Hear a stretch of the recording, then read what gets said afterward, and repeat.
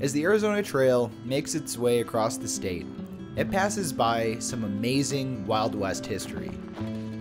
The stories that these areas have really put you in touch with the amazing landscape that is Arizona and how humanity has connected to it for well over 10,000 years. So today, we're going to be learning about some of the amazing historical things you're going to see when you're doing any through hike or section hike on the Arizona Trail. Let's get started.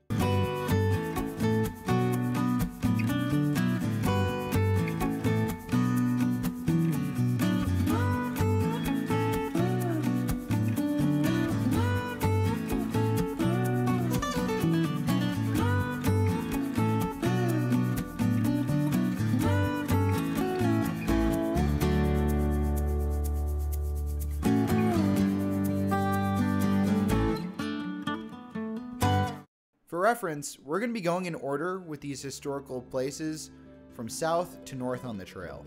So, as if you were a northbound hiker, because I know many of you that are going to be seeing this video are going to be spring northbound hikers that are just getting ready to go on your adventure. So, let's start things off right where the trail starts, the southern terminus, Montezuma Pass. This is where the southern terminus of the Arizona Trail is located. This area is actually thought to be the first place that Europeans came into what is now Arizona in the Coronado expedition that took place in the mid 1500s. Initially setting out to search for the lost cities of gold, Coronado's expedition marked the first time that Europeans saw the Grand Canyon, and he took his expedition as far north as what is now Kansas.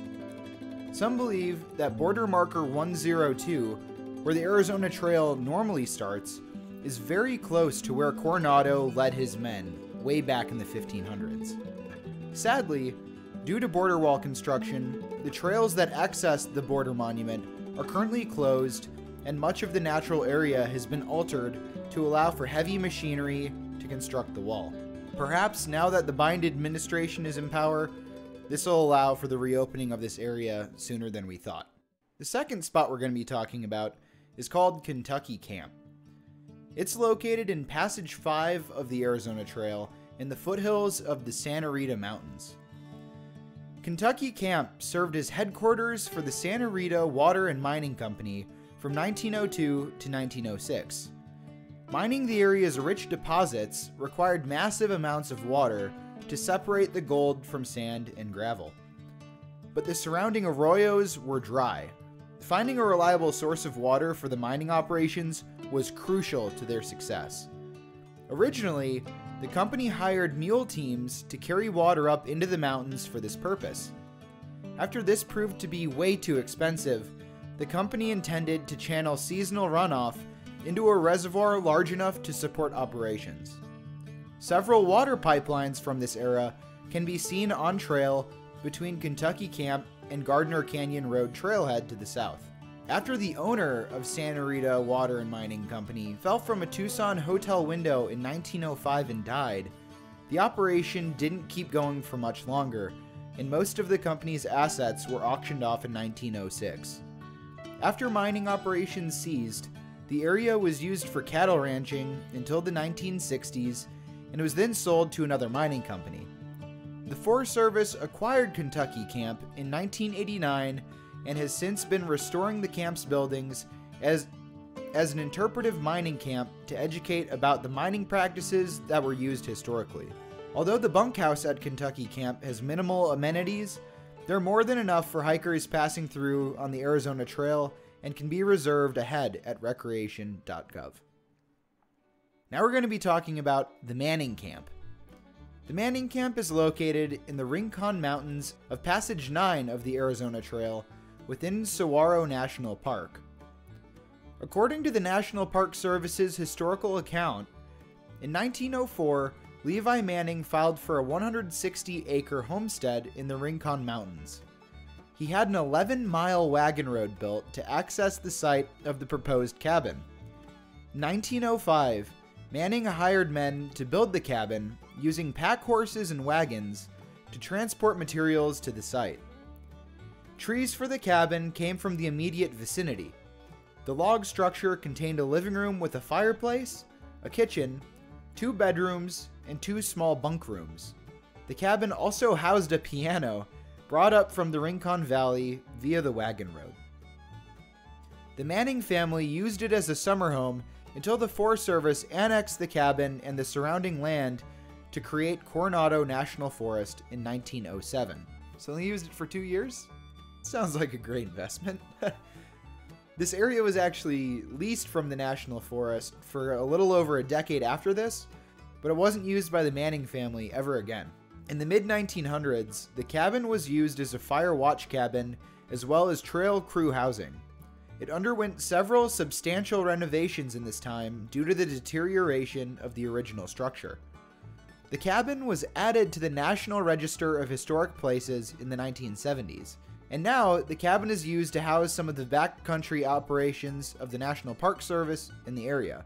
This includes backcountry rangers, biologists, people like that. But you can camp there. Reservations can be made ahead of time to camp here, and it may be a good idea as the hike up and over Mica Mountain is quite the challenge for a single day. Continuing on, the Gordon Hirabayashi Campground is located in Passage 11 in Coronado National Forest. This campground actually used to be the site of the Catalina Federal Prison Camp, or Catalina Federal Honor Camp during World War II. It housed federal prisoners starting in 1937. Inmates housed at the camp built over 20 miles of road through Coronado National Forest, which would become the Catalina Highway, which leads up Mount Lemmon to the town of Summerhaven, connecting it to Tucson. During World War II, some of those incarcerated here were Japanese Americans protesting the Japanese American relocation. This relocation was the largest forced removal and incarceration in U.S. history after the Japanese Navy attacked Pearl Harbor in 1941, over 100,000 Japanese Americans, many of them who were American citizens, were forced into crowded internment camps due to government fears that they would conduct espionage and sabotage along the West Coast. During this time, Gordon Hirabayashi was a student at the University of Washington after resisting the enforced curfew and internment of Japanese Americans on constitutional grounds, Hirabayashi was convicted of violating a curfew and sentenced to the Catalina Federal Honor Camp in 1942. The Catalina Federal Prison Camp closed in 1951 upon the completion of the Catalina Highway. The camp itself was torn down in the 1970s. Later in 1987, far too late, Hirabayashi's case was overturned by a Supreme Court panel. A federal commission determined that the internment had been motivated by racial prejudice and wartime hysteria. In 1999, the Coronado National Forest renamed the former prison site in honor of Dr. Hirabayashi and the other resistors of conscience who were imprisoned there. Our next location is deep in the Superstition Wilderness. Reavis Ranch is located in Passage 19 of the Arizona Trail in the Superstition Wilderness of Tonto National Forest. Reavis Ranch is named after Elisha Reavis, a quirky man of legend who used to call the area home in the late 1800s. He was known by some as the Hermit of the Superstition Mountains, and according to some accounts, local tribes of Native Americans thought that he had supernatural abilities or was an evil spirit and steered clear of his ranch. According to local newspapers from the time, Elisha grew a variety of fruits and vegetables, including cabbages, parsnips, potatoes, cherries, and other fruits and vegetables to sell to mining communities nearby. Apple trees can still be found here to this day if you go during the right time of year. It's really an amazing spot in the mountains there. I'd highly recommend staying there. Once you finally make it onto the Mogollon Rim, what's waiting for you there is General Springs Cabin. It's located in Passage 27 of the Arizona Trail within Coconino National Forest. The cabin was originally built in 1918 by Louis Fisher. Fisher and other early rangers used this and other cabins in the area as fire guard stations. Nearby General Springs was named after General George Crook, who used this spring during his travels along the Fort Apache Camp Verde military road in the mid to late 1800s. During this period, General Crook was involved in the Battle of Big Dry Wash, which occurred just a few miles north of this cabin. After a band of Apache Indians attacked local ranches and settlers, troops and scouts from the territorial fort were dispatched to the area. On July 17, 1882, five groups of cavalry and one group of scouts converged on the Apaches. After four hours of fighting, the Apaches were defeated with more than 20 casualties. The US troops suffered only two casualties in this battle. General Springs Cabin was used by the Forest Service until the 1960s. After sitting abandoned for over 20 years, in the 1980s, the Forest Service refurbished the cabin to its present state and it remains as a historical place. Although use is prohibited, one can enter the cabin and see what living in Arizona around the turn of the century truly looked like. After walking through the pine forests of the Mogollon Rim a little bit longer, you'll eventually make it to the Mormon Railroad Grade. This is within Passage 30 of the Arizona Trail in Coconino National Forest.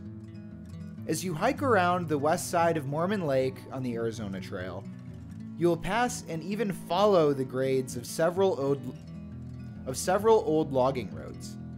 The Flagstaff Lumber Company extended their logging railroad to Mormon Lake and Mormon Mountain in the 1920s. The railroad was constructed primarily to haul logs cut from the surrounding forests to sawmills in Flagstaff, Williams, and other areas. However, on weekends, the railroad would carry as many as 300 passengers to the Mormon Lake area. A plaque on the trail reads, quote, the Flagstaff Lumber Company's railroad ceased operation in 1927 due to a slump in timber prices and the high cost of operating a railroad up the 7 mile grade to Mormon Mountain. Other logging railroads continued to operate in northern Arizona until 1966. Today, these railroad grades provide a unique opportunity for the hiker to travel these traditional routes under their own power rather than under steam power. End quote.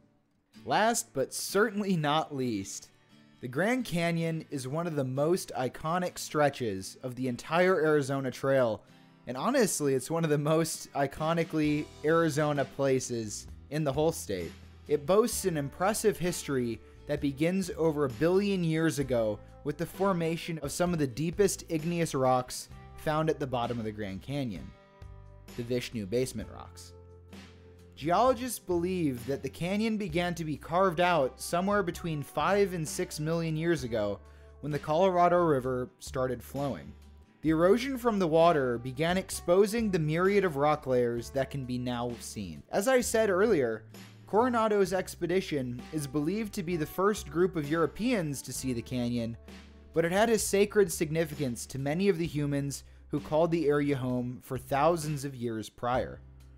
Archaeologists have discovered ruins and artifacts from inhabitants dating back nearly 12,000 years. Prehistoric humans first settled in and around the canyon during the last ice age when mammoths, giant sloths, and other large mammals still roam North America. Ancestral Pueblo people, followed by the Paiute, Navajo, Zuni, and Hopi tribes, once inhabited the Grand Canyon. The Havasupai people now claim the Grand Canyon is their ancestral home. According to tribal history, the Havasupai have lived in and around the canyon for more than 800 years. More than 300 years passed before U.S. soldier botanist, and explorer Joseph Ives entered the Grand Canyon on a mapping expedition of the Colorado River in 1858. American geologist John Newberry served as a naturalist on the expedition, becoming the first known geologist to study the Grand Canyon. A decade after this, John Wesley Powell, a one armed Civil War veteran, led another expedition down the Colorado River. His expedition produced more detailed maps of the Colorado River's route through the canyon. He navigated the river atop a rowboat with a chair tied down onto the deck, and he himself tied to the chair. Teddy Roosevelt declared the Grand Canyon as a national monument under the Antiquities Act in the first few years of the 1900s, and the Grand Canyon achieved national park status in 1919, three years after President Woodrow Wilson created the National Park Service. In the 1920s, the bridge that spans the Colorado River on the Kaibab Trail, as well as Phantom Ranch, were both constructed all 122 tons of building materials required for the bridge had to be carried down on trail either by mule or on foot. The 1 ton, 550 foot cables used in the construction of the bridge were carried by 42 Havasupai tribesmen walking single file all the way down into the canyon, over 7 miles. Although getting a reservation for a cabin at Phantom Ranch is probably one of the hardest reservations to come by. Nearby Bright Angel Campground also makes for a great stop to enjoy the canyon during your through hike. I'd highly recommend spending a night or two down there. It's unforgettable. The Arizona Trail really does an exceptional job at bringing trail users close to the history that defines what Arizona is. The human connection that can be formed through history and understanding the significance that a lot of these places had in someone's life that came before you really is kind of amazing. And the imprint that these people had on the planet still exists here today. Coming into contact in some way, shape, or form with those people's energies or the things that matter to them really add a lifelike quality to the trail and the experience of through hiking on it. I hope that this video gave you some sort of a deeper appreciation for the Arizona Trail and the amazing people that had to exist in the Wild West and today to give the Arizona Trail this amazing quality.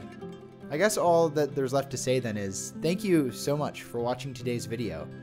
If you enjoyed it, please hit that like button down below, as it will tell the YouTube algorithm that you appreciate my work, and it'll get some more people watching these videos, which would help me out a bunch. If you think I earned it, maybe consider subscribing down there so you can be here for my future videos, whether they're history-based ones like this one, or maybe an adventure. Hint, I may or may not have a nice backpacking adventure coming up really soon. And if you're already subscribed, thank you so much for your support. Let's continue going on this adventure together. Anyways, I'll see you guys in the next one. Stay groovy.